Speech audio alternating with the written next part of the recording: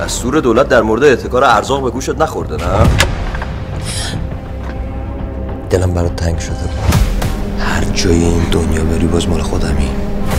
چاره دیگه هم دارم. سازش با شیرزاد. از اون راننده چی می‌دونی؟ هیچی. ما داریم میگیم مشعل این جماعتیم. Bez بونه جشن روشیمه چی چی؟ یه خج بار بارم خواهی من برای چی گیره؟ جناب ترنگ. من رابین هود نبودم. تو من رابین هود کردی.